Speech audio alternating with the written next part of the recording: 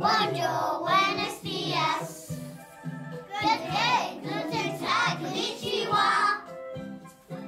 Ciao, dobre. Hello to all the children of the world.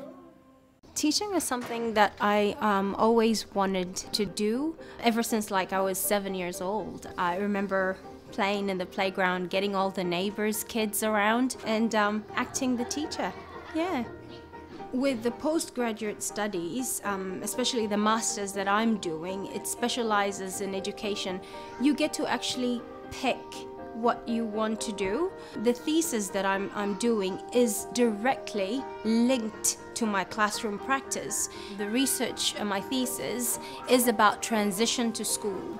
And what I'm doing in, in school, I'm a, I'm a transition to school liaison.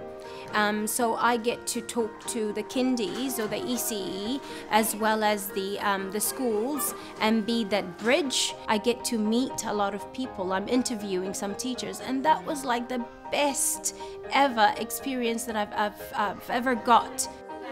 It makes a difference when you have that um, really solid support um, because they are challenging times. Because I was based in Wellington, some of the courses I had to be in campus, the other courses were online. But then you have all these wonderful people around you just to remind you actually, no, you can do it. And my supervisors were just amazing. Yeah.